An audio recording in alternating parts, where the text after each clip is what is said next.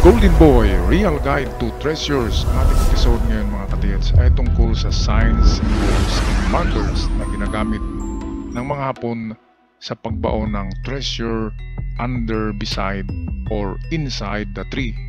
Ang episode na ito ay tungkol sa mga marker na ginagamit ng kahoy mga katiets bago tayo magpatuloy of course. Shout out muna tayo. Okay, ako'y mag-shoutout muna sa ating mga giliw na subscribers. Shoutout kina Gilbert QB, Rogelio Cortez, Danny Flores, user VO5, kay Amel Bangsa Bae, Tomasito Kaasi. Shoutout din kay Jiswin Jade sa Linda, kay Tating Nali Mansalay, Julieta Tabuklaon, kay MC Dipe, Okay. At kay Cyrus, Cirilo Jaom, Robert Cabunilas, Rich Jean Sanchez, Dennis Mordino, Edgar Sofia, Pango Silvester, Roger Banares Jr., Alma Ulep, Raul Danzia, Glenn Mario, and lastly, shout out kina Christian Rosada, Arex, Rex Alipo, Paul Kagula, Edgar Lagarto, at sa mga hindi nabanggit na pangalan, shout out sa inyo lahat mga katiyats. Tayo na ngayon magpatuloy. Magandang buhay mga katiyats. Welcome back sa ating uh, Treasure Marker Signs and Symbols Compilations.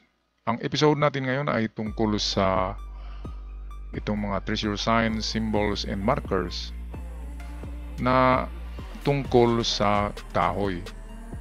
Ito'y pinamagatan ko na treasure signs and symbols for treasures buried under the tree. Okay, mga treasures ito na binaon sa loob ng kahoy, sa baba ng kahoy at sa harap ng kahoy. Okay, umpisahan natin ang mga signs na ito. Una ay uh, atin muna ito anuhin, isulat. Treasure under the tree.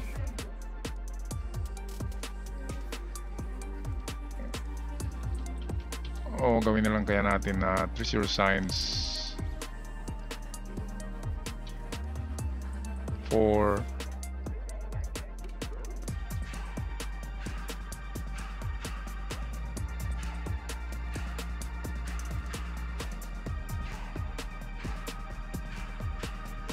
Ayan. So, para sa kahoy ito mga katiets, ang mga symbols na ito ay pertaining sa mga nakabaon malapit under gilid o even sa loob ng malaking kahoy na centennial kapanahon na ng hapon. Okay unang kahulugan ay uh, unang sign ay ito. Uh, lakihan natin kunti ang ating lapis. Ito parang sperm siya uh, ayan nag uh, siya pababa at mayroong isang guhit sa itaas yan ay treasure under the tree. Okay, ito naman ay literal na treasure in the tree. Yan. Yan kasi na sign ay kahoy yan. Kaya treasure under the tree. Okay, meron tayong kakaiba dito na sign. Ito yan. Itong Z, yan. Kung napansin nyo, meron siyang uh, nagaganyan tapos merong ganyan. So yan ang pointer niya. Treasure under the tree pa rin to. Lahat ng mga signs na atin babanggitin dito, ipapakita ay treasure in the tree or under or beside. Okay, kasunod niyan ay kakaiba din na treasure sign sa kahoy. Ito yung dubling-dubling T. Ayan. Ang ibig sabihin naman ito, kasi dubli-dubli siya, ang sign na ito ay nagsasabi na merong maliit, merong small, and large deposit sa lugar. Yan yung dubling-dubling T na meron ding maliit na T diyan. Katulad din yan ng dalawang heart na maliit and then merong isang malaki. Ang kahulugan niya ay dalawang treasure na magkalapit lang, isang maliit, isang malaki. Okay, patuloy tayo. Itong JF.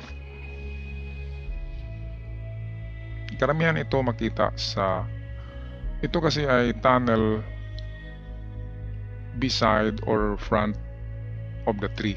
Itong J ang tunnel, ang F ang kahoy. Okay, kaya GF siya. Nagsasabi siya na ganito. Kahoy. And then uh, sa gilid ng kahoy ay entrance to tunnel. Kaya lang sa mga nakikita ko sa mapa na gumagamit ng J ay malalim siya for big deposit yan. Uh, 14 meters muna ang vertical and then mag-slant siya ng 30 degrees. Uh, ganun din no, mga 14 meters. Bago siya mag uh, itong horizontal and then sa dulo niyan ang treasure bunker. All in all, nasa 30 meters yan. Na haba papunta sa bunker. Okay, kaya ang GF ay medyo malaking deposito yan. Kasi yan ay entrance to tunnel at kapag ganyan ay medyo mahirap hukayin yan. Okay, uh, susunod na sign ay itong F. Kung nakita nyo, balik na naman ng F. And then merong maliit na hole. And then meron siyang parang equals, dalawang linya, F, dalawang lines at 0, ibig sabihin nasa baba yan ng kahoy. Zero kasi siya. So walang distansya nasa baba ng kahoy ang item kapag ganyan. Ngayon, meron ditong uh, uh, ito, parang ayan, and then ma meron siyang ganun. Okay, yan pa rin ay treasure under the tree. Kakaiba nga lang siya. Ito, ito ang kahoy sa kanya. Ang dulo, ang ito yung baba. Kaya nasa ugat ng kahoy Example dito, ang mga ugat ng kahoy ang naghawak or nagyakap ng treasure box sa kanyang sign. So directly below ang kahulugan ng sign na ito. Under the roots of the tree. Okay, uh, patuloy tayo. Ito, very common ito. Ang uh, triangle na may buntot yan, ito yung buntot niya ito. Ibig sabihin yan, ang treasure ay sa likod ng kahoy. Ang mga ito ay tinatatak ito sa mga bato. Itong mga uh, drawing natin ngayon ay sa mga bato ito nakatatak. Kaya kung halimbawa nakatatak sa bato ay nagaganito, ganyan. So ito ang sundan nyo kung saan niya nagturo. At makikita nyo sa unahan, meron niyang kahoy. Okay, at ang ibig sabihin niya, ang treasure ay sa likod ng kahoy. Treasure at the back. Dito sa likod ng kahoy ang treasure. Okay, madali lang yan mga katits. Pero may kalayuan yan. Nasa 15 to 30 meters. Ang ganyan. Ah, baluktot na triangle. Ang hanapin nyo kahoy. At sa likod ng kahoy, ah, nakatago ang item. Okay, ito naman triangle and then linya lang siya, hindi siya baluktot, hindi nakaganon. Linya lang. Ang ibig sabihin naman niya ay treasure in tree uh, triangulation of trees or tri even triangulation of rock. Kaya pwedeng bato ito na tatlo na nag-triangle at pwede ring mga kahoy na triangle formation Okay, at isa sa mga kahoy ang pinagbaonan diyan. Kaya merong tatlong hukayin kung merong tatlong kahoy. Pero kung uh, itong walang makuha sa isa sa mga kahoy, so go directly sa center. Okay, yan ang triangle na yan. Ang sundan din ay itong kanyang guhit sa baba, yung line yan ang direksyon. Kaya pagdating sa unahan, tingnan nyo kung merong kahoy. Okay. Pwede rin ang katriangle ng kahoy ay dalawang bato. Kung ganyan na dalawang bato ang katriangle ng kahoy, nasa kahoy pa rin ang item. So most probably nasa harapan nito or nasa likod nito ang item sa ganyan na klaseng triangle. Okay, patuloy tayo. Ngayon ang ating uh, susunod na treasure signs ay itong nakatatak na mismo sa kahoy. Okay, lahat kasi ito na treasure signs ngayon pinagpakita natin ay sa kahoy ito. Sa kahoy makukuha ang item. Kaya ito, una, kapag magkakita kayo ng kahoy, ayan, halimbawa malaking kahoy yan, at meron siyang uh, tatak na C at may dot. Okay, ang ibig sabihin niyan ay merong treasure entrance sa gilid ng kahoy at itong kung saan niya nakaharap, diyan ang hukay niya. Sa harap ng C letter, ang ganyang sign is treasure tunnel entrance. So, tunnel entrance, ibig sabihin malalim na naman yan. Under the tree, sa baba mismo ng kahoy, kung saan nakaharap ang C. Okay, merong tayong susunod na example ng kahoy na tinatakan ng sign. So ito, matabang kahoy. Yan, old tree yan. And then meron siyang ganitong sign. Merong bilog na malaki sa baba. So, akala agad natin ano ba yan? Maguluhan tayo kung saan tayo pupunta diyan. Pero ang ibig sabihin niya ay uh, treasure in drums under. So ang treasure daw ay nakalagay sa mga bari bariles or drums under mismo sa kahoy. Okay, so yan ang ganyang kahulugan. Ngayon, pang pangatlo, kahoy na naman. Ah, sabihin natin ito yung mga ugat ng kahoy, matabang kahoy yan. Ngayon, meron siyang marka na isa lang na butas, nag-iisang butas. Okay, sa ngayon, uh, sa tagal ng panahon ng butas ay hindi na yan bilog. Karamihan ng butas diyan ay nagiging oblong na, nagiging ganyan at lumalaki na. At hindi na siya halos mamalayan mo or ma-extinguish mo na gawa ng tao. Kasi ano na yan, itong narurupok na ang kahoy lumalaki ang butas. Okay, kaya ang mga kahoy na may butas ay karamihan yan ay object inside the tree. Nilalamon yan sa loob ng kahoy. Kasi merong teknik ang mga hapon din noon na pinutasan nila ang kahoy at nilagay sa loob ang mga giveaway. And then, uh, dahil uh, magaling yan sa mga bonsai technique, sa magaling ang hapon sa about sa pag ano ng kahoy, pag alaga. Kaya alam nila kung paano itong paliitin muli yung ginawa nilang nabutas. Okay, pero pabilog yan nabutas, pwedeng treasure inside the tree. Okay, at kung wala sa inside, ay nasa harap lang niya. Dito lang mismo sa harap. Or kung mahukay kayo, harap, and then hukayin nyo rin ang baba ng kahoy.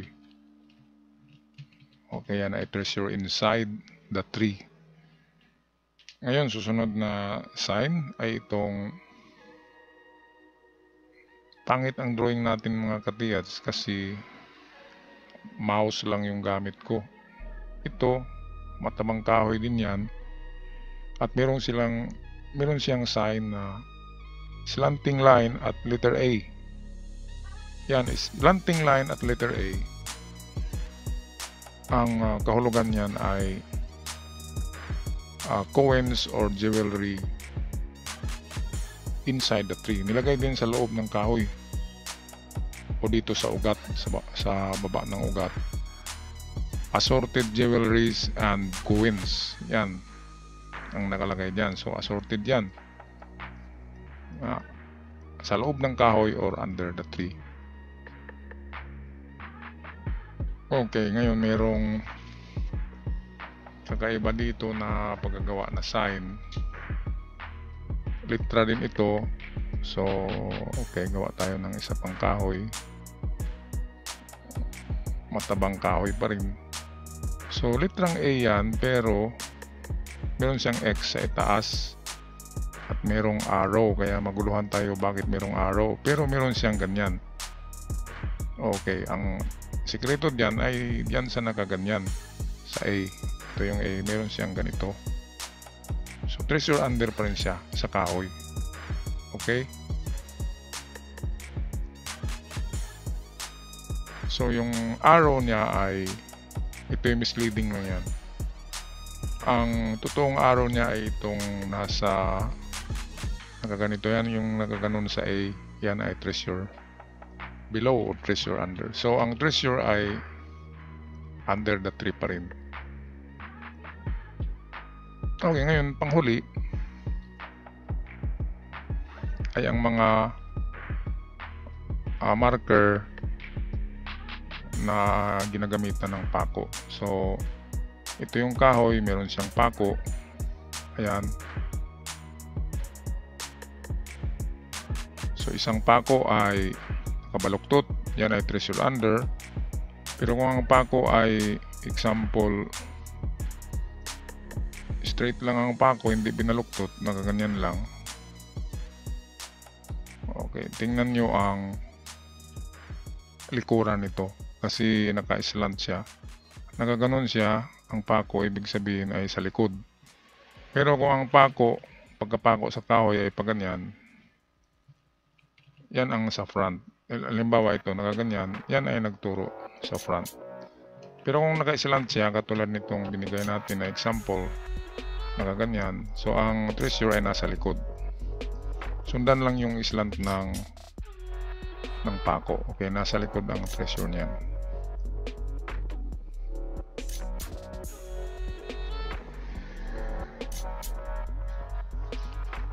Ngayon, kung maraming pako, uh, example ito. Halimbawa, tatlong pako na yan. Meron ng value ang bawat pako. Ang bawat pako, karamihan yan ay 5, minsan 3 meters. So kung 3 times 3, pwedeng 9 meters. Pero kung 5 ang binigay nila na value sa bawat pako, so merong 15. So dalawang distansya diyan sa harap ng pako. 9 meters, 15 meters ang test dig. Okay, kakapusin yata tayo ng drawing space. Okay, gawa tayo mamaya ng isa. Ito yung katihan na natin. Matabang kaho yan. Ito. Ito yung object inside the tree din. Merong malaking butas And then meron siyang naka-triangle na tatlong maliit na dot. Ayan, klarong-klaro yan na treasure inside the tree. Okay, gawa tayo ng bagong page. Hindi magkasya siya.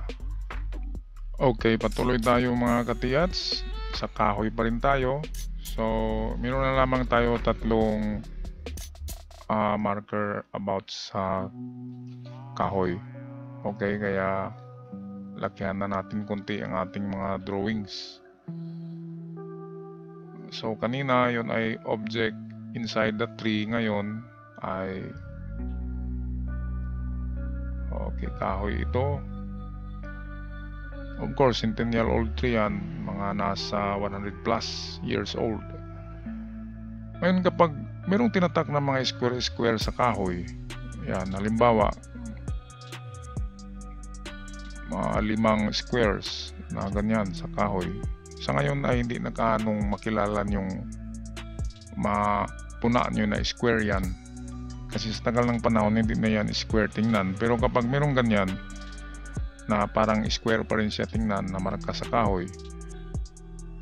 yan nagsasabi na there are boxes of golds under the tree. So kung ilang square yan, yun ang dami. So under the tree, merong isa, dalawa, tatlo, apat, limang boxes under the tree kapag ganyang sign. So under the tree talaga, hindi sinabi na harap or likod. Under the tree. Ang ginawa nila niya noon, nang magukay sila, halimbawa ito yung lupa, hukay sila dito. Ang lupa na natanggal nila dito ay itinabi nila dito sa tabi. And din nang uh, i-backfill nila yan, ang lupa, ang nangyari ay medyo umusbong konti. Ang ginawa nila ay kumuha sila ng mga matured na na uh, puno na siguradong hindi na mapatay na pwede pang itanim diyan. Yan ang karamihan kaya ang ang mga ginto ay itong niyayakap na ng mga ugat. Nasa ugat na ng old tree ang mga boxes. At minsan nilalamon yan paglaki ng kahoy ay nasa loob na ng kahoy. Kaya maraming nag itong mga naglalumber sa bundok sa mga forest na paglagari nila ng kahoy ay meron silang na-discovering gold bars. Pero hindi yan marami. Kapag nilalamon, mga paisa-isa na lang yung tatlo, kanya na mga gold bars. Okay, susunod tayo na signs. Kahoy pa rin tayo, of course. Yan ang ating episode ngayon. Ayan, Centennial tree yan, mataba meron siyang marka na X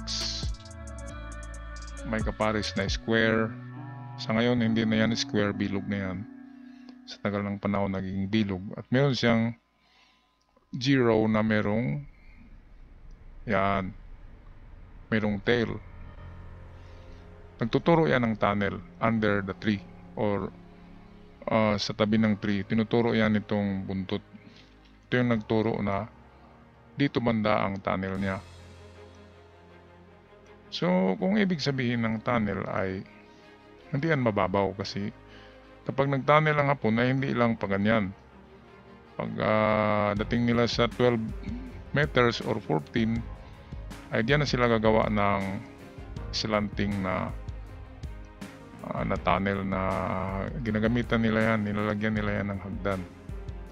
At sa unahan yan, eh, katulad ng pinapakita natin kanina ay bunker isang room nagawa sa bedrock. Nasa bedrock na yan na portion, malalim na yan. At uh, of course, pinakamaliit na ano diyan na, na tunilada, pinakamagaan ay karamihan din ay 3 tons of gold bars ang laman ng mga bunker na maliliit. Ang malalaking bunker ay unbelievable na yon. Ang laman noon ay nasa 30 tons Ganyan ang mga malalaking bunker. Okay, panghuli natin na treasure sign sa kahoy na centennial. Kaya ang mga centennial old tree ay uh, dapat i-preserve yan kasi baka mayroong nakatagong kayamanan dyan. At huwag putulin kasi hindi na yan makikita. Ngayon ito, nakikita nyo, ang daming butas-butas sa kahoy. Nagtaka kayo, ano yung mga butas na yan? At sunod-sunod. Sa ngayon ay malalaking butas na yan. Sunod-sunod siya. Dito sa kabila ito, nakita nyo yan. Square. Dito naman bilog-bilog. At marami din. So, ang ibig sabihin yan ay kapareho din sa kabila. Pero uh, hindi nila sinabi na boxes of gold. Kundi merong object under the tree. So kung ganito mga bilog, pertaining to wealth, kayamanan yan. So pwedeng mga banga ang nandyan, mga old jars, kasi bilog ang mga old jars, or pwede ring lalagyan nila of course yung mga drums. So pwedeng merong anim. Ang nakalagay dyan ay pito, so pito, pitong drums. Ang nariyan under that centennial old tree na nandyan. Okay, so ano pa bang Ito yung mga markers ito. Ngayon, ang sign ng tree na pwedeng may laman ay ah, ano yan, tatlong ano yan, arrangement. Merong ah, straight in a straight line nakalinya na tatlong kahoy. Ano bang gawin nyo dyan? Saan ba sa tatlo ang hukayin nyo? Ngayon kapag tatlong kahoy, tayo kayo dito sa gitna. Naka-straight line kasi yung kahoy. So, kung na, nasa gitna kayo, malaman nyo na kung nasaan ang ang direksyon. Okay, halimbawa, ito yung kahoy sa gitna, ito yung naunang kahoy at ito yung yan. Ito yung uh, sa likod na kahoy. So, halimbawa, ganyan, ah hanapin mo una ay east. Halimbawa, ang east ay narito sa unang kahoy. So, pagtingin mo sa kompas mo ay nasa unang kahoy ang east. Kaya unang hukay mo kaagad ay sa kahoy na nasa east, under sa kahoy. At kung wala dyan, pwedeng baliktarin nila na nasa west. So yan yung isang sikreto dyan. Ang pangalawa, kung naka-arrange ang kahoy sa triangle. Triangle formation. So alam na natin yan na triangle yan. So ang ibig sabihin ay gitna ng triangle. Ngayon kung ang kahoy ay naka-arrange sa pagganito, ano bang tingin nyo dyan? Okay, connect nyo yung mga kahoy at makikita nyo ay cross siya or plus. So sa paghanap dyan, gitna pa rin. Sa gitnang kahoy, magkukay. Okay, so yan lang ang mga sikreto ko sa mga paghanap ng treasure sa kahoy mga katiyats. Ang mga signs and symbols na yan ay hango sa compilation ng aking father at hindi yan aking mga gawa-gawa. Okay, ako magpapaalam na. Maraming salamat. God bless you all and don't stop chasing for that golden dreams. Paalam at ingat kayo lahat.